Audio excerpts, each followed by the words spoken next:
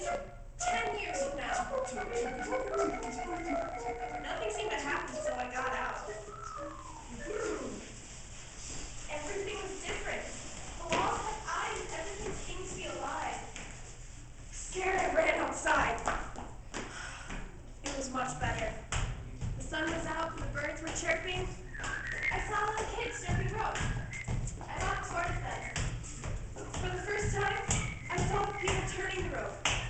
People at all, just human-looking robots. It couldn't be. And it happened. I was in a world where everything was different, nothing was the same. All I could do was go back to the road I belonged. At least for now.